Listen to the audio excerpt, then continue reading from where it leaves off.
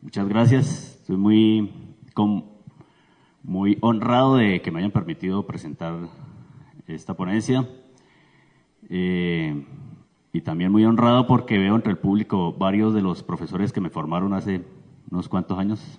saludo especial a la profesora Marta, al profesor Santiago, al profesor Daniel, creo que está también por ahí. Y a Luz Amelia, a Henry y a Luis Eduardo por permitirme estar acá. Bueno, el profesor Cardona viene y nos dice que hay que hacer ejercicio para no morirse, prácticamente, ¿cierto? Ahora vengo y yo les digo que hay que hacer ejercicio para poder pensar bien. Vamos a ver cómo es la cuestión. Bueno, soy un hijo de las universidades públicas, de la Facultad de Salud de la Universidad del Valle, de la Universidad Pedagógica y de la Universidad Nacional. Los temas que vamos a tratar en esta ponencia son los siguientes. Hablaremos primero de motricidad y cerebro, efectos estructurales y funcionales del ejercicio físico en el cerebro, relación entre el cerebro y el ambiente, relación entre el cerebro y la intensidad y tipo de ejercicio, relación entre ejercicio físico y desempeño académico, neurodesarrollo y ejercicio físico, investigación en neurociencias y deporte formativo. Bien, eh, la motricidad del cerebro están íntimamente relacionados. En neurociencias ya prácticamente es aceptado que sin motricidad no hay cerebro. O sea, la pregunta es, ¿para qué sirve el cerebro y de dónde viene el cerebro? Y la respuesta que nos da esto el doctor Ginás es que el cerebro surge a partir del movimiento. Y toma como prueba, una de las pruebas es, al lado derecho está un tunicado en su edad infantil, o sea, en el momento de nacer y al lado izquierdo de ustedes se encuentra en su edad adulta. Cuando es adulto es Cecil, pero cuando él surge por llamación del adulto, tiene un sistema nervioso precario, tiene neuronas y tiene movimiento, tiene una, es una especie de renacuajo, él se mueve para buscar un sitio donde establecerse y quedarse por el resto de la vida. Eso que funciona, ese ganglio nervioso que tiene a manera de cerebro, le dice dónde hacerse de manera efectiva, porque es cuestión de vida o muerte. Si lo hace mal, si se ubica mal, pues muere. Ginás dice, el cerebro sirve para moverse de manera inteligente. Cuando uno se mueve, tiene que saber para dónde va, o puede morir si no sabe para dónde va. Y necesita representar el mundo exterior, su propio cuerpo, y predecir lo que va a hacer. Y para eso se necesita cerebro. Entonces, eh, dice Ginás, el cerebro obedece o en el mundo de los seres vivos multicelulares hay, se podría agrupar dos filosofías de vida. Una de los seres que no tienen cerebro y de los seres que sí tienen cerebro. Los árboles no tienen cerebro porque no lo necesitan. Como no se mueven a buscar el alimento simplemente con que le llegue la luz, agua y aire, no más. Mientras que para los animales nos es más difícil. Buscar esa energía y el gasto de energía que es mayor, pues implica moverse y para eso hay que tener cerebro. Entonces, existiría una interdependencia filogenética y ontogenética entre cerebro y movimiento. Y no solo por lo que dice Ginás, sino por otra serie de hipótesis, teorías y de argumentos desde las neurociencias. Por ejemplo, esta, que es de Damasio. Él en el año 96 propuso la hipótesis del marcador somático. Y esta hipótesis se refiere a que el estado y cambios orgánicos internos influyen en los estados cognitivos y en la toma de decisiones. Es decir, de acuerdo como esté el organismo, el cuerpo, funciona la toma de decisiones y los estados cognitivos del cerebro. Y actualmente, por ejemplo, este estudio 2014 muestra ya sitios específicos donde se hace un, un procesamiento de la información orgánica, y en este caso que se muestra en este estudio es la ínsula, acumula toda la información interoceptiva y el estado homeostático o la homeostasis del organismo.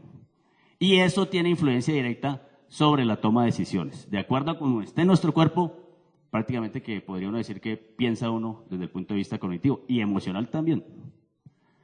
Y hay otra serie de estudios que hacen una, muestran cómo hay una correspondencia entre eh, estados eh, mentales y que tienen relación directa con estados orgánicos. Entonces, por ejemplo, el segundo muñequito de la derecha hacia la izquierda muestra cómo eh, los estados hedónicos de placer están relacionados directamente con el núcleo accumbens y con la corteza órbito-frontal. Órbito es la región del cerebro que está ubicada por encima de las órbitas de los ojos. Efectos estructurales y funcionales del ejercicio físico sobre el cerebro. Este estudio, del cual les voy a hablar, muestra el impacto estructural a nivel macroscópico del ejercicio físico y más bien de la condición física y de comparado con eh, personas que tienen alto nivel educativo. Entonces, este estudio se hizo en 40 personas mayores de 65 años y hasta 81 años, en ese rango, donde se utilizaron pruebas para medir condición física, pruebas neuropsicológicas e imágenes por resonancia magnética. Los estudios iniciales que se han hecho sobre la relación entre ejercicio físico y cerebro han sido en mayores, mayores de 60 años en especial. Este estudio muestra lo siguiente. En la parte superior, donde están los colores, sobre el fondo gris que sería el cerebro en una imagen neurológica, muestra que las personas con buena condición física tienen algunas regiones del cerebro, esas que están allí iluminadas, que es la corteza eh, parietal y parte posterior de la corteza frontal, tienen mayor volumen en la corteza cerebral, mientras que los que tienen alto nivel educativo, avanzadas edades, eh, tienen la sustancia blanca más prominente que las personas que no tendrían esta condición. Pero no solo es cuestión de estructura. Las pruebas neuropsicológicas que se hicieron era para ver si eso tenía una, una relación con el desempeño cognitivo y mostraron que sí tenía una relación positiva. O sea, mayor tamaño de la corteza, mayor tamaño de la sustancia blanca en los que se educan a altos niveles y mayor desempeño cognitivo.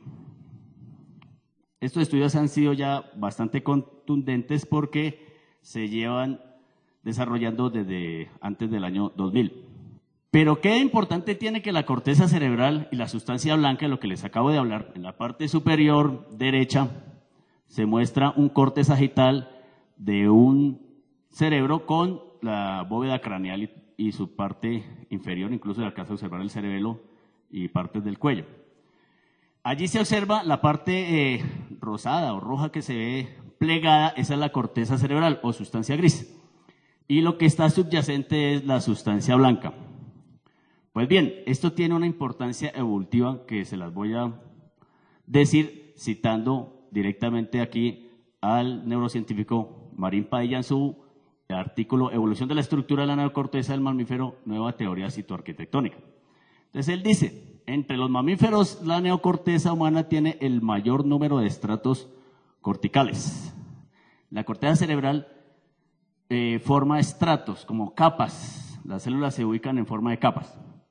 El último estrato, el piramidal sexto, establecido en la región motora de la neocorteza del hombre o de la mujer, está encaminado a controlar aquellas actividades motoras que son exclusivamente humanas tales como lenguaje, escritura, pintura, risa, mímica y deporte, que son en última instancia funciones motoras. Incluso el pensamiento humano se ha descrito como actividad motora. Ortega y Gasset dice que no hay acción motora sin pensamiento previo ni pensamiento que no esté encaminado a la acción motora. Nos salvamos todos los geofísicos y los que trabajamos con deporte. Bueno, a nivel microestructural, es decir, en el cerebro, la microestructura es lo que está a nivel celular o subcelular, moléculas. En el cerebro o en el sistema nervioso, lo único que hay no es neuronas, o sea, hay más que neuronas. Hay células gliales, células que conforman el sistema vascular y hay unas pequeñas estructuras que se llaman sinapsis, que son las eh, que son las que a partir de ellas se hacen las conexiones entre una y otra neurona. Y lo que más hay en el cerebro no es neuronas, lo que más hay es células gliales. Hay una proporción, por cada neurona hay 10 células gliales. Con las células gliales no se piensa, pero sin ellas las neuronas no podían hacer su trabajo mental. De hecho, en el cerebro no hay tantas neuronas. Donde más neuronas hay es en el cerebelo. El 80% de las neuronas están en el cerebelo. El resto están en el cerebro. El 20%. Esta introducción para decir que el ejercicio físico se ha encontrado por algunos estudios, sobre todo experimentales en animales, que tiene impacto sobre cuatro aspectos o produce cuatro situaciones en el cerebro y es, puede inducir neurogénesis, gliogénesis, sinactogénesis y angiogénesis. Génesis, ¿qué es? Nuevo, nacimiento. Es decir, que a partir del ejercicio puede aparecer nuevas neuronas, nuevas células gliales, nuevas conexiones sinápticas y mayor cantidad de vasos sanguíneos, en especial los capilares. ¿Y eso qué impacto tiene? Pues cambios en la actividad y en la función, si cambia la estructura, cambia la, la función cerebral. Ya a nivel subcelular, molecular, hablando de moléculas, también está ya establecido que el ejercicio físico promueve eh, algunas proteínas que finalmente impactan otras proteínas que están a nivel cerebral, conocidas como factores neurotróficos, o sea, trófico, crecimiento. Es decir, la actividad del músculo tiene impacto directo sobre la actividad de las neuronas. Puede predisponer por medio del aumento de la plasticidad neuronal a nuevos aprendizajes o cambios, la hace más plástico, en cualquier edad, en cualquier edad. Este estudio de, Thomas, bueno, ese es un review, o sea, es una, una, revisión de varios eh, artículos originales. Y allí muestra, bueno, pero ¿cómo es que, que cuál es el real impacto de la angiogénesis, neurogénesis, gliogénesis y sinaptogénesis relacionado con el tipo de actividad que se realiza. Entonces, él muestra cómo en todos estos estudios hay una tendencia positiva a que haya mayor eh, cambio eh, microestructural a partir de la actividad aeróbica. Y la actividad aeróbica en ambientes enriquecidos. Entonces, ¿cuál es la diferencia? En, actividad aeróbica hay cambios principalmente a nivel de los capilares y nacimiento de nuevas neuronas. Esto lo estoy hablando por estudios en ratas, principalmente. Pero cuando se hacen ambientes enriquecidos, esos cambios no solo se dan a nivel capilar y neuronal, sino también de los, de los astrocitos, o sea, las células gliales y del neuropilo, o sea, de los contactos sinápticos. Pero también sucede que los cambios capilares y neuronales continúan así se haya terminado la actividad. O sea, por el periodo. No estoy hablando de horas, sino de periodos prolongados de, trabajo. Para los que de pronto no, no les puedo aclarar aquí qué es angiogénesis y eh, neurogénesis, perdón, y ambientes enriquecidos. En la parte superior estamos viendo el ambiente menos enriquecido sería el de la parte derecha superior, donde están las, bueno, ese y el de la izquierda. A la izquierda estarían las ratas, perdón, sería el de la izquierda, ratas solas, aisladas, y más estímulo que el cubículo donde están ellas ahí viviendo. A la derecha estaría ya en contacto con otras ratas. Ya comienza a ser más enriquecido el ambiente, hay interacción con otros coetáneos. Y eh, al lado izquierdo y derecho, hacia abajo, van viendo cómo cada vez hay más cosas, colores, bueno, eh, eh, estructuras para que hagan ejercicio, diferentes. Aunque esto de colores en una rata no es que tenga mucho impacto, porque las ratas, hay que entender también el tipo, el animal y el, experimento que está haciendo, porque es que las ratas casi no ven. La, parte visual para ellos no es muy importante, es más bien la parte olfatoria y las vibrisas, las barbitas y hasta el gusto, bueno. Entonces, eh, Decir que uno hace un estímulo enriquecido una rata con colores es ya la salida.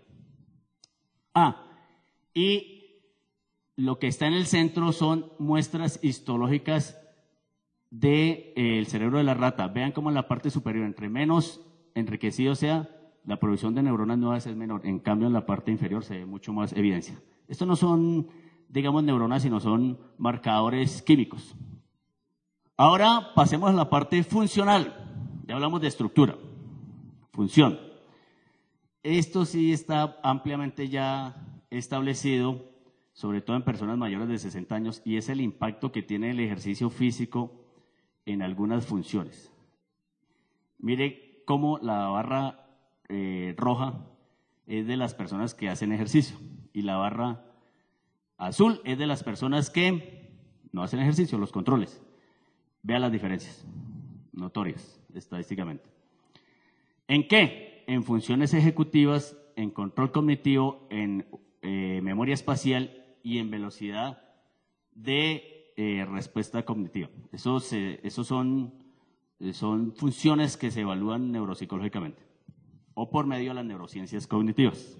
Este otro estudio muestra cómo eh, una persona puede tener mayor capacidad de producción de analogías que serían evidencia de mayor creatividad de acuerdo a la actividad que esté realizando y al sitio donde esté. Entonces, a la izquierda vemos los que menos producen analogías y serían los que están sentados, encerrados.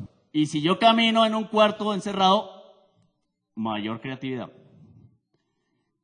Pero si lo hago en el exterior, sentado, solo con cambiar el ambiente, vea que hay mayor creatividad que cuando está sentado encerrado.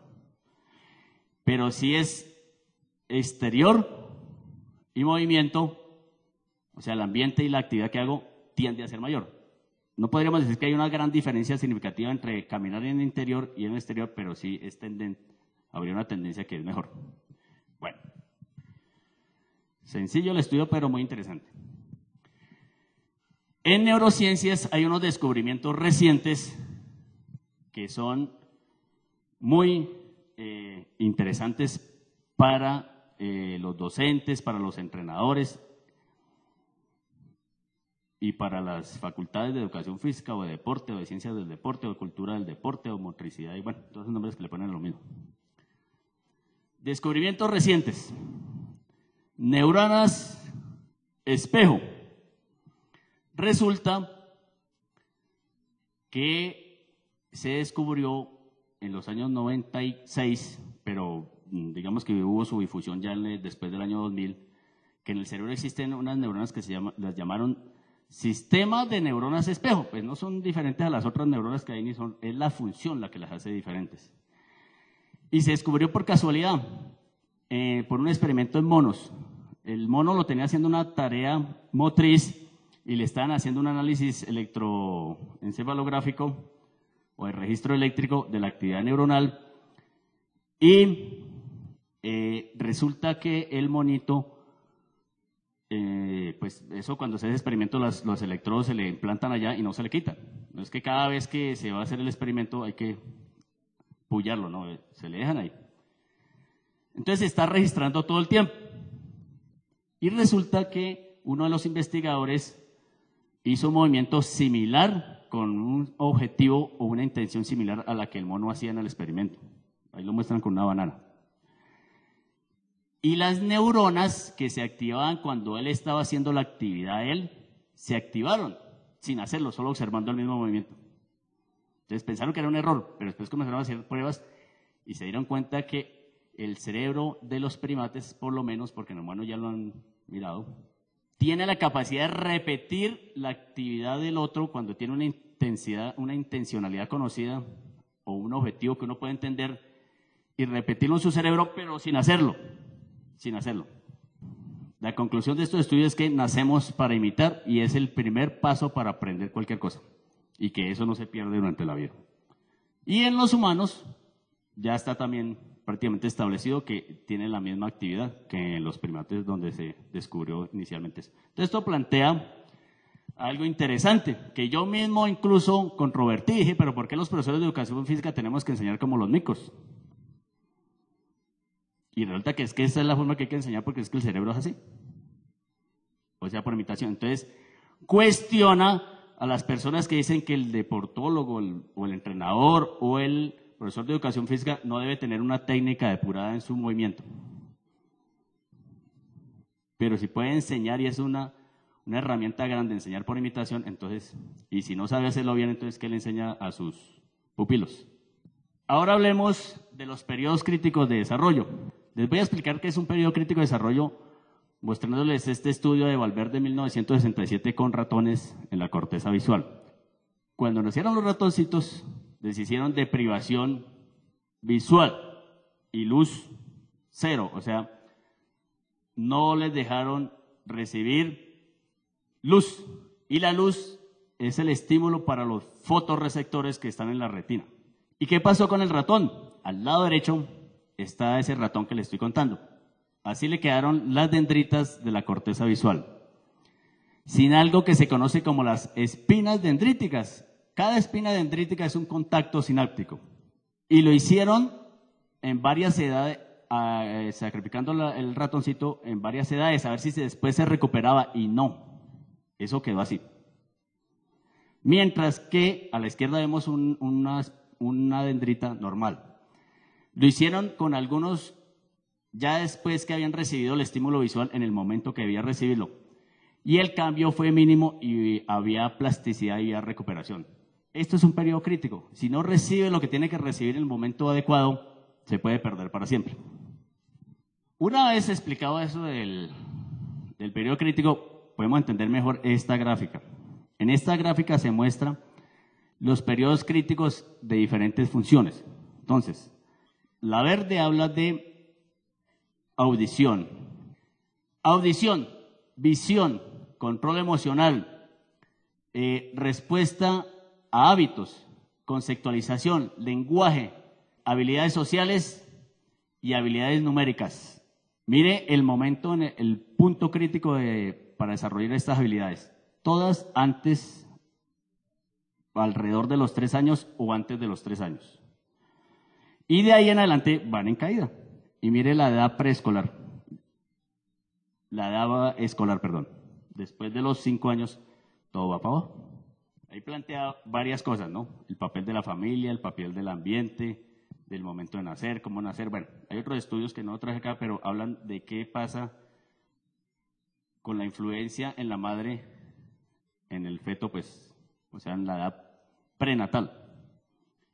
Bueno, y hay impacto en eso también. Bueno, ahora hablemos de niños, eh, jóvenes o adolescentes y adultos. Somos diferentes de acuerdo a la edad. Cuando uno es niño es una cosa, cuando es adolescente es otra y cuando es adulto otra. Neurológicamente hablando, tanto estructural como funcionalmente. Y esto debe tenerse en cuenta para esto que le interesa mucho a las personas que están en este medio. Y es el aprendizaje motor y la formación de hábitos. Pero ojo la palabra que está allá, adicciones.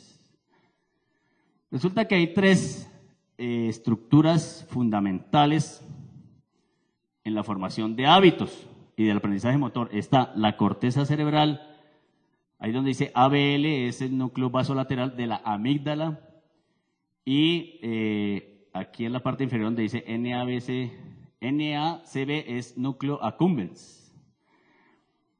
La corteza es lo que ya les mostré anteriormente y los otros son núcleos que están eh, embebidos en la parte central del cerebro, entre, eh, embebidos en la sustancia blanca, en la parte central del cerebro. Bueno, esos tres núcleos son el core, el centro de, de los circuitos relacionados con el aprendizaje motor y con la formación de hábitos. ¿Qué sucede cuando uno está aprendiendo algo nuevo? Vamos a aprender a manejar.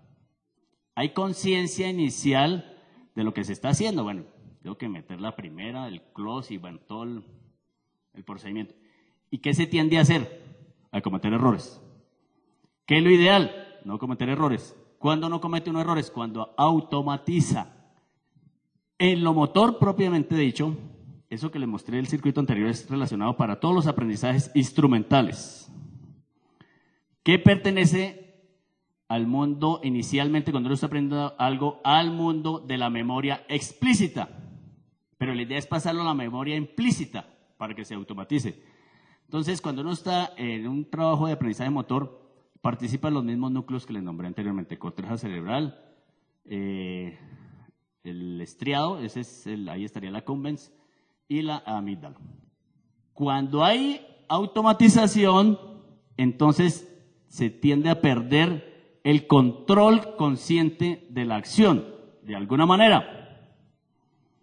Entonces ya uno maneja sin pensarlo.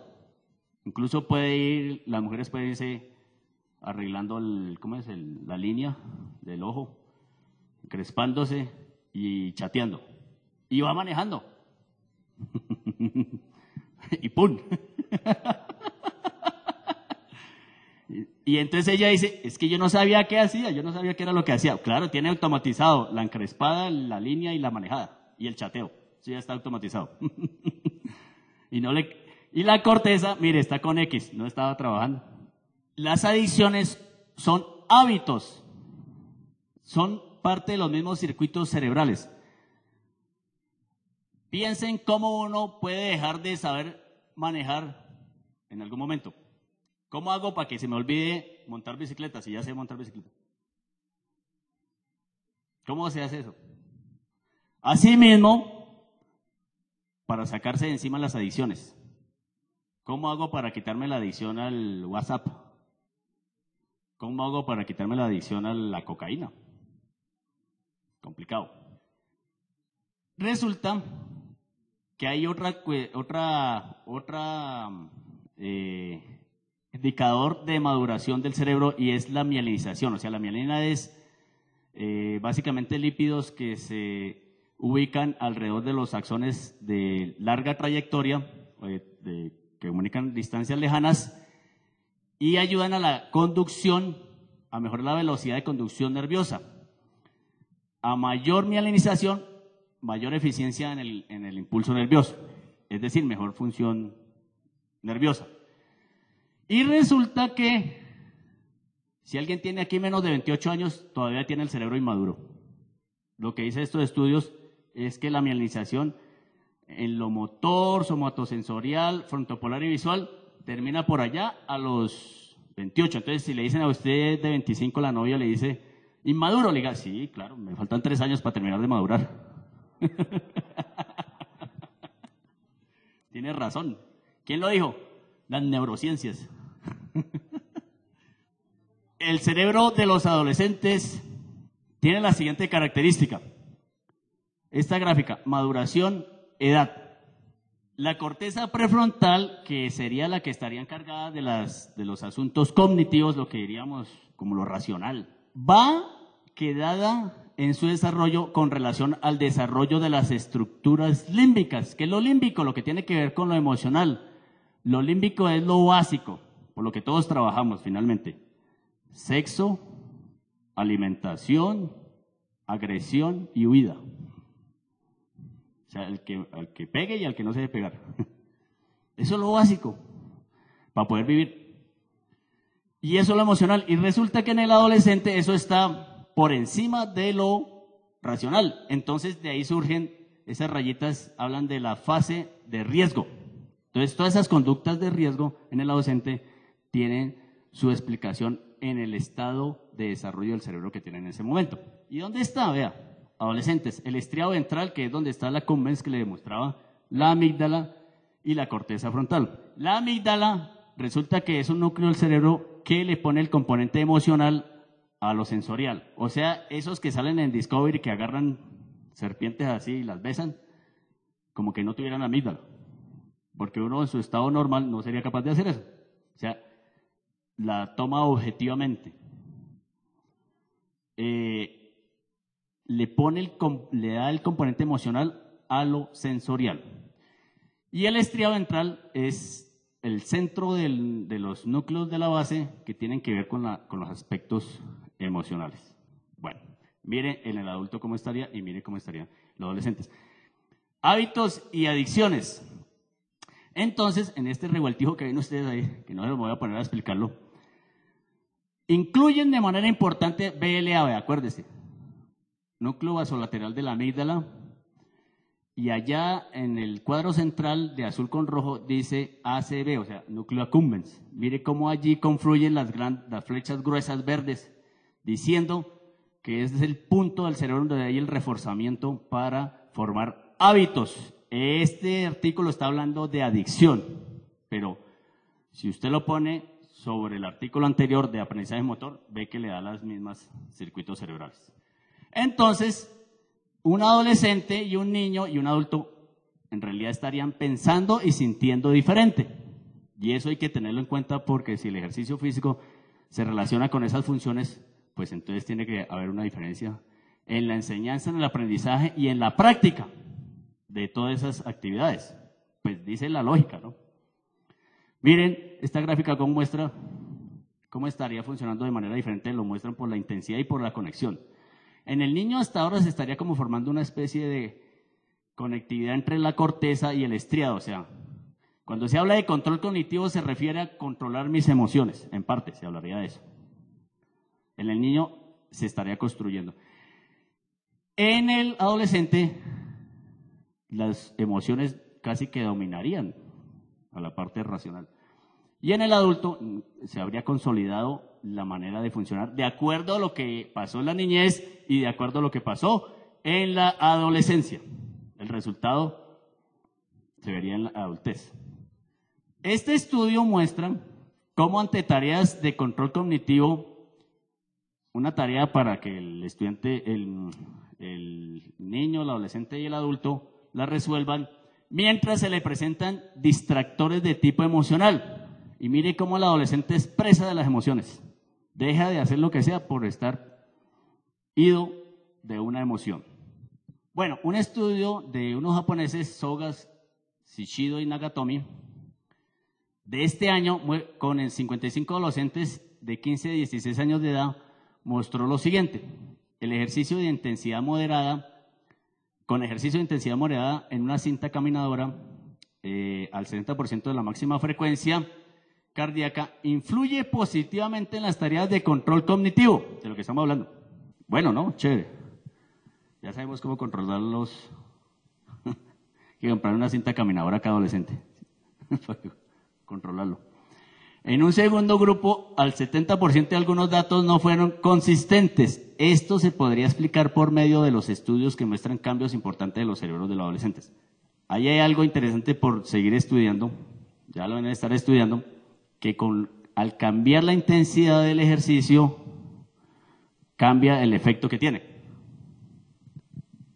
En los adolescentes, más no en los niños ni en los adultos. Esto es otra serie de estudios eh, relacionan ejercicio físico y rendimiento académico.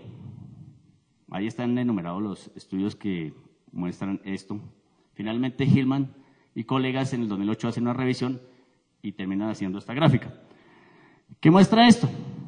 Que los que tienen mejor condición física o capacidad aeróbica tienen buen desempeño en matemáticas y también en eh, lectura. Y muestran las partes del cerebro que están bastante activas en esas situaciones funcionales. Bueno, actividad física y rendimiento cognitivo y académico. Hay una revisión de Cornejo en el 2014, el año anterior, de 680 artículos, desde 2000 hasta 2013 y muestra algo interesante, y es que en toda esta serie de estudios el rendimiento cognitivo se asocia a la actividad física intensa. Vea, estaría un poco en contra, o a no ser que, eh, lo que pasa es que aquí está hablando de rendimiento cognitivo en general, pero en el otro estaba especificando de en control cognitivo. Y el rendimiento académico está relacionado con la actividad física en general, pero más en niñas. Entonces habría una diferencia de género. Se necesita más investigación para aclarar la diferencia entre géneros, la intensidad y el tipo de actividad física y algunas variables psicológicas, como la autoestima y la depresión. Como les decía, esto arrancó con estudios en adultos mayores de 60 años. Y en niños y adolescentes es muy reciente el trabajo, pero se está haciendo en muchas partes del mundo, en muchas universidades, en muchos grupos de investigación de neurociencias, en neurociencias. Entonces, por ejemplo, este estudio es del 2013 y habla de la influencia de la capacidad aeróbica del niño en el aprendizaje y en la memoria. Otro, en el 2014, habla de la asociación que hay entre la actividad física y el comportamiento sedentario con el desempeño académico. en primaria. Este otro, este año, veo, este año están investigando eso. Ejercicio y cognición en niños. Entonces, son estudios recientes, calienticos. Aquí habla, por ejemplo, ya están investigando lo que hablaba antes, tratando de dilucidar la relación entre la intensidad del ejercicio y el control cognitivo. Siguiente. Esto es en lo que yo me desempeño, en neurociencias. Hacemos lesión experimental en, animales, mirando lesión cerebral y tratando de, buscar pues, formas farmacológicas y de rehabilitación. Pero prácticamente la única forma de rehabilitar el cerebro es con movimiento y con ambientes enriquecidos. Así como cuando usted ve allá en las salas de fisioterapia, en un cuarto encerrado, un poco de gente encima y haciendo 10 veces así. Ambiente enriquecido y actividad física de acuerdo a lo que tiene que hacer. Otro es estudios que hacemos en el centro de investigación donde pertenezco, postmortem en humanos. Pero en neurociencias hay toda una gama de métodos de investigación. Por ejemplo, está lo que se hace con neuroimágenes, que puede ser de estructural, funcional, o por ejemplo, eh, eh, viendo la actividad sanguínea, que eso es evidencia de actividad neuronal, eh, registro electroneurológico, estudio farmacológico, estudios neuropsicológicos y estudios conductuales. Bueno, ustedes dirán, bueno, ¿y uno en deportes qué hace con todo eso? Justamente para eso estoy acá, para ver qué hacemos. Pues más lejos estarían de lo que de pronto uno hace, lo que mostré anteriormente en el laboratorio con una rata, pues, pero podemos arrancar por alguna parte, al menos por estudios conductuales, estudios neuropsicológicos, lo que sí es claro es que para estudiar el cerebro y la actividad física se necesita de interdisciplinariedad y trabajo en equipo. Si eso no se hace, no se puede. Es fundamental que esté ahí un psicólogo, que esté un edufísico, un deportólogo, un entrenador, un directivo y un neurocientífico. O bueno, varios. Y ojo, porque a la palabra neuro se le están colocando toda serie de se han hecho unas construcciones, no neologismos terminológicos, poniendo la palabra neuro. Entonces ya casi que usted puede decir neuroestética, ya vi un artículo sobre neuroestética. Neuro eh, educación. Neuroeducación. Según varios autores y lo que yo he podido encontrar, neuroeducación es un neologismo. Sería un vocablo de moda, creado de manera oportunista y sin mayor contenido. ¿Y por qué? ¿Con base en qué se hizo? Porque no hay un verdadero campo que una verdaderamente de manera científica las neurociencias y la educación. Y hay unos críticos duros, no me voy a poner yo a, voy a decir lo que ellos dicen, de las inteligencias múltiples y de los estilos de aprendizaje y enseñanza. Yo que he estado 14 años en las neurociencias, nunca he visto ni un solo artículo que hable de inteligencias múltiples ni de estilos de, enseñanza.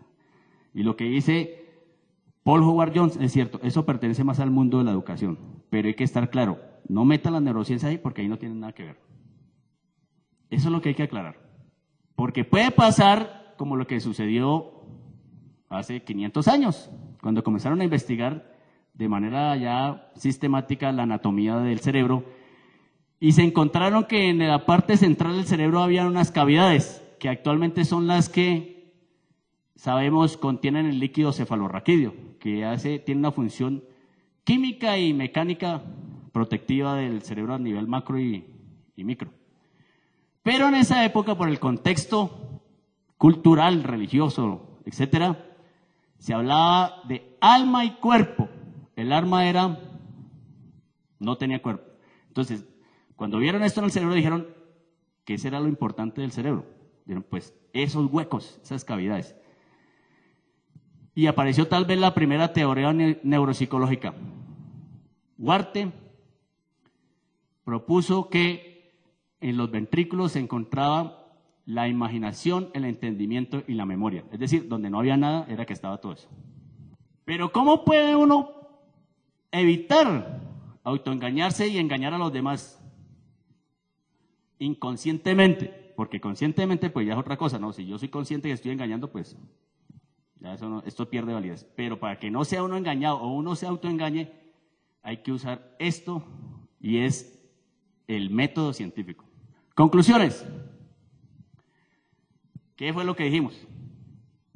Que existe una interdependencia filogenética y ontogenética entre el cerebro y el movimiento.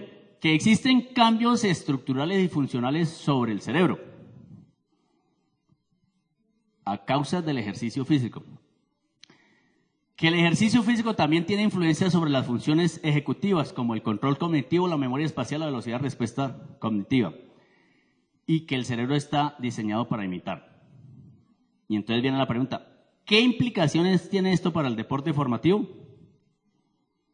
Pues unas son las que ustedes mismos puedan sacar, otras las que yo les pueda decir y otras pueden ser las que verdaderamente son. Lo mejor sería hacer, iniciar trabajos de investigación o de análisis profundo, serio, académico para ver qué se puede hacer con esto.